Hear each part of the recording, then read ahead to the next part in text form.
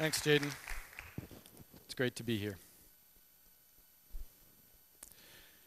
These are my kids. on the right, uh, that's Amelia. She's age seven. On the left is Nellie. She's three. Um, this picture was taken last summer. We were watching the Olympics on television, um, women's gymnastics, and uh, the kids disappeared after a while came back a couple of minutes later and they had toilet paper wrapped around their hands and they started uh, jumping around the house doing kind of crazy things um, probably dangerous things but uh, anyway they were inspired by uh, the gymnasts. Um, i love being a dad. Um, it's, uh, it's an awesome experience. It's, it's, uh, it's scary it's exciting it's intimidating. Mostly it's, it's joyful. Um, and one of the things that i love about being a dad is that uh, my kids ask me uh, to help them understand the world around them. They ask me lots of questions. And they ask what things mean. You know, it, it happens a lot. Actually, both kids will say, Daddy, what does that word mean? And, uh, and so, you know, as a parent, it's our responsibility to help them understand, you know, what the world means. And you explain it to them. And, and I find sometimes I'll think, oh, did I get that right? And I'll scurry off and, you know, Google it or check on the dictionary to make sure that you know, the, the, the definition I gave, the explanation I gave was right. Because, you know, they're young and you, you want to explain something in a way that's accessible, but it also has to be correct. It has to be true. Um, lately, I've been thinking about uh, innovation. And uh, I'm involved in, in that kind of world, uh, in the creative world, and innovation is a word um, that comes up a lot. I've noticed it a lot lately. You know, I would say it's, it's almost a trendy word. Um, there are chief innovation officers, and I don't remember that being a term that was used like five years ago. Um, it's also a word that I think uh, people have different ideas about what it means. Um, it's kind of a little bit connected to the idea of invention, um, and yet they're different. Uh, but how? Uh, just take a moment, think about that. What's the difference between invention and innovation. It's also a word that, um, uh, when I looked it up in the dictionary, because I did, uh, it had a kind of a disappointing uh, definition. It, it, it's new. It's something that's new, you know, a new product or a new way of, of, of doing things. And, and I, that's obviously true, um, and yet I think it's a bit broader than that. So I want to talk about uh, invention and innovation.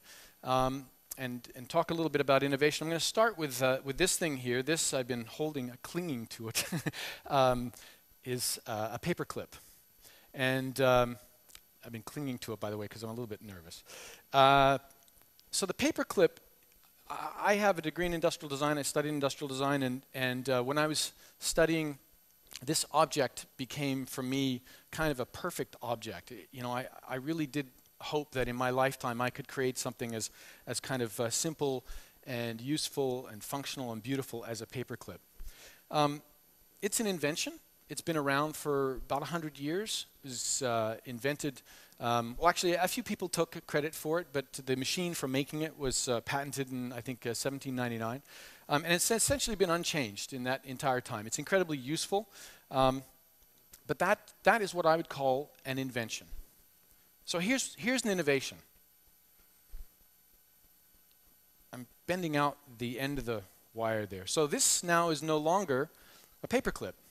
This is a floppy disk ejector, or it's a, a it's a SIM card ejector, or um, you know, it has lots of, of uses actually. I mean, anything where you need a pointy object and a convenient little handle to, to do something with. But it's not a paperclip. And I think this is kind of the essence of innovation for me. Um, you can look on the internet and see other examples. Uh, this is not a pop bottle, it's a sprinkler. That's not an iron.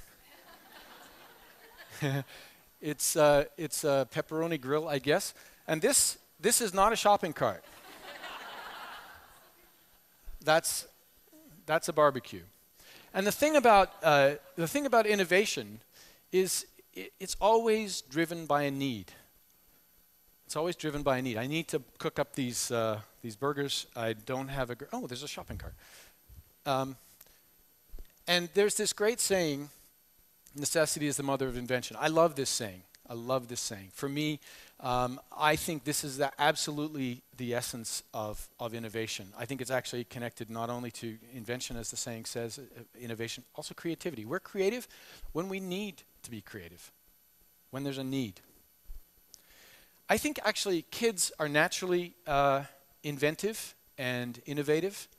Um, they don't call it innovation, they call it let's pretend. So this is Nellie, who uh, we were at a restaurant uh, with recently. A family went to a restaurant and uh, she needed to make a phone call. And uh, I wouldn't give her my phone, so she used a banana. And she happily uh, talked away and, you know, pushed buttons on the banana.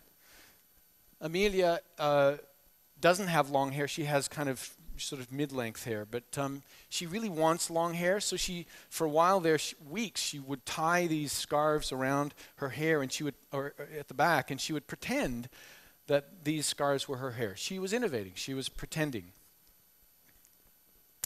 It all kind of goes back to imagination. Um, there's a need, and uh, and you begin to imagine a solution. You start playing with ideas. Even even the paperclip. You know, if I if I uh, just bend it out to make it a wire. I mean, this is one of the things I love about a paperclip. It's a, it's a wire bent three times, and it does this amazing thing. But it started out as just a wire, and someone needed to hold some papers together, and it's like, well, you know, if only I had a little thing that was, you know, well, hey, I got some wire, and I'll bend it, and bingo, uh, you know, you've got a paperclip. Um, and that's kind of the pattern, actually. It starts with imagination, and then it moves to uh, inspiration, and then innovation, and then either it's going to end up on the internet um, with a funny picture, or maybe it'll, it, it'll evolve and become an invention, a useful little invention like, like paperclip um, that has a, a unique function. So how important is imagination? Well, uh, a few years ago, about six years ago, I was uh, um, working on a documentary called Nuclear 9-11. And as the name suggests, um, it was a documentary about the possibility of a nuclear attack in a major U.S. city, not unlike 9-11. I was in New York and I was interviewing this guy uh, named Graham Allison, and he is uh, the um, uh, director of uh, government at the JFK School at Harvard. And we were just talking. I was gathering uh, an interview for the documentary, and he, he cited this report. And he said that uh, of all of the findings of the, of the 9 11 Commission, the principal finding, the key finding in the whole report was that it was a failure of imagination. And you know, when he said this, it, it hit me. It's like, wow, I did not see that coming. I, I would have thought that it was, you know, it was like, you know, security breaches and intelligence failures and, you know, blah, blah, blah. A failure of imagination. It really struck me. It really struck me. You know, Einstein said imagination is more important than knowledge. I remember the first time I saw uh, this, this uh, this uh, saying or this, this uh, uh, quote. I was working at the Science Center here in Regina, and in the store they had a poster up, and it was that sort of famous picture of Einstein with his crazy hair and so on. And you know, it had imagination is more important than knowledge. And I remember thinking, oh, that's kind of cute. That's that's cute. That the big brain uh, Einstein mathematician scientist would say that. You know. Um, and I see it from time to time now, you know, Facebook postings, you know, you'll see it. But I think, you know, if Einstein were here, he, he would say, no, no, really, it's more important. You know, we've got some big problems in the world, and, and, uh, and I think we need imagination and we need innovation to be able to solve them. And so, as a father of little kids, I'm trying to figure out how, what I'm supposed to do. How, how am I supposed to help them to, uh, to be imaginative and, and to be innovative? Recently, um, my daughter uh, Amelia, who's in the in the red, oh, sorry, the pink hoodie there, um, started soccer, and uh, it was the first soccer practice. And uh, at the end of the soccer practice, the coach, who is the tech technical director of of the, um, the club, a guy named Hugh Dooley. Um, brought all the parents together and he said, okay, I just wanted to explain about what just happened, you know, with the practice. And we had 15 minutes of of this and 15 minutes of this, and we ended with 15 minutes of three on three. And the first 15 minutes, he said, was to for the kids to do this. Uh, right now, they're they're running and they're running backwards. They're running up and then running backwards. And he he said, we're we're practicing physical literacy. And you know, he said this with a kind of a disdain. It, it was kind of funny because he said, Yeah, you have to do this 15 minutes of physical literacy. And he said, You know, 20 years ago, we didn't have to do this stuff. Kids were climbing trees and falling out of trees and playing around, and, and they understood their bodies and, and so on. We didn't have to teach them how to run backwards. And this was another thing that sort of struck me. It's like, yeah, you know, he's right. You know, 20, 30 years ago, that was uh, a play structure. It's kind of this a tree. It's organic, and kids will interact with it in lots of different ways, in whatever way that suits them, and they'll experience it, and uh, they'll they'll learn about their body and so on. But now, of course, uh, we have the play structures that you see in parks, colorful, uh, you know, metal, you know, fairly kind of rigid things, and they're designed mostly to protect kids, uh, you know, to keep them safe, not, you know, so that they can have some activity but not hurt themselves, and that's important. But there's something about that that I think is is um, is kind of too bad because it what it does is it kind of processes the play experience it removes the sort of the po- possibility of an open-ended outcome. Um, I want to show you another process play experience. Yeah? This is Barbie's Camper. This is um, a toy that our girls have had uh, for a couple of years now, and they play with it. I just want to give you a quick tour. Um, so, you know, there's a doorway here, and uh, I don't know if you can see, but there's a flat screen TV in there. So in case you want to watch TV while you're out camping, that's it's there. Um, there's a, a, you know little access for your pet, which is which is great.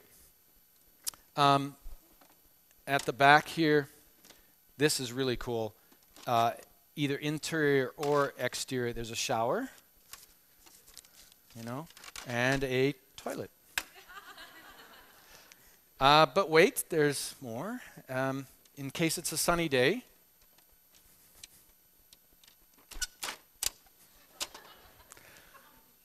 pretty cool. That, this, is a, this is a pretty cool toy. And I know what you're thinking. I, I know you're just sort of thinking, well, that's pretty cool, Stephen, but you know, imagine if it, if it had a hot tub. That'd be cooler, right? Well,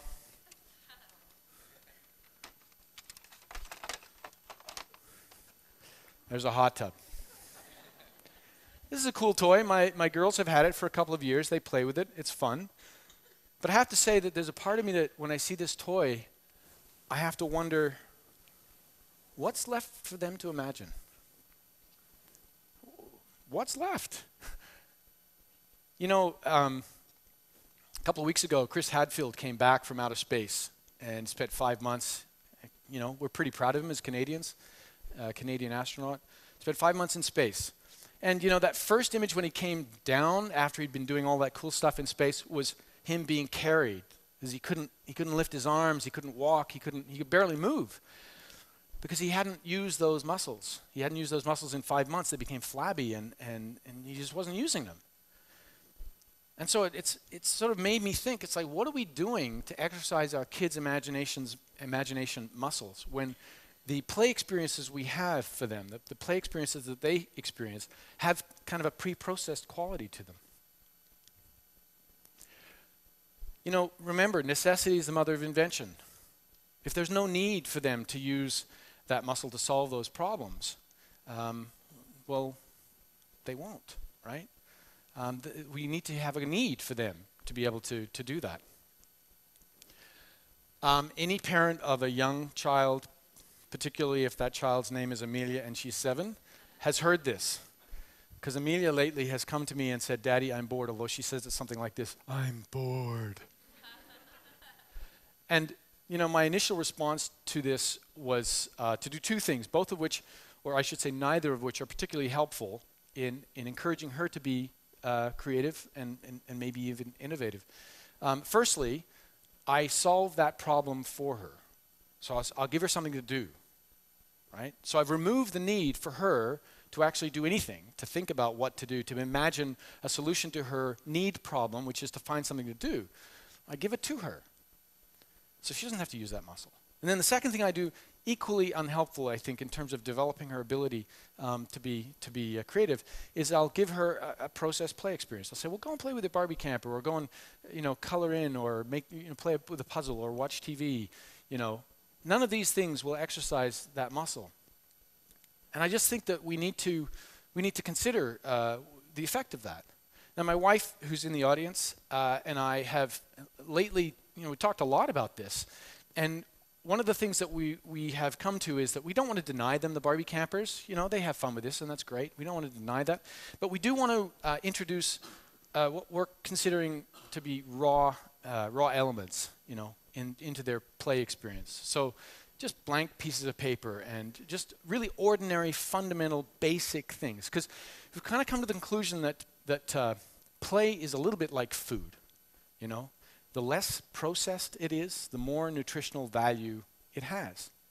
And we're, we're not going to deny them the Barbie camper. We're not going to deny them even TV and so on. But we are trying to kind of mix it up. We're trying to give them kind of a more balanced play diet, if you will. Um, now, this is something that uh, uh, years ago there was a, a, kindergarten teacher who basically did this um, with her kindergarten kids, and she gave them uh, toothpicks and and peas, and said, "Here, kids, knock yourself out. Here's some toothpicks and peas, some really raw material, some basic, basic things."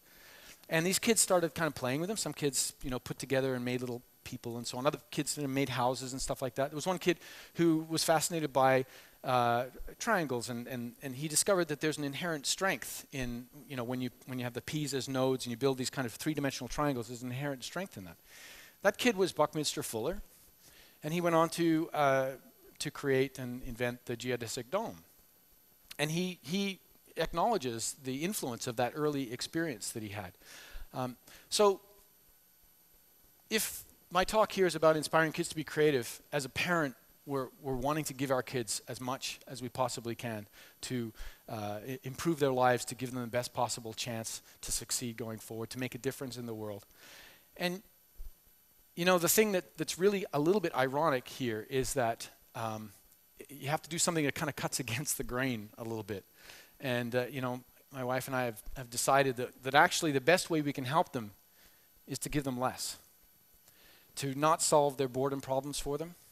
You know, when Amelia comes to me now and says, Daddy, I'm bored, I say, Tell me what you're going to do about that. I just want to end real quick with uh, this. Uh, it's a text that my wife sent me recently um, last week, actually. And uh, she said, This is what Nellie made when I told her to find something to do for a little while. It's a girl. See gold facial features. She's quite proud of herself. and I, I, looked at this and it's like, What the? And I asked her, I got home and I said, Nellie, what is that? Like, what did you do? And she said, I, I'm, It's a doll, Daddy. I made, I made it. And she was holding it. And I said, Does that doll have a name? And she said, Yes, her name is Rosie. And she held her very tightly and gently. And, you know, I don't really see much of a doll there. but it doesn't matter because what really counts is what's going on in Nellie's mind, in her imagination. Thank you very much.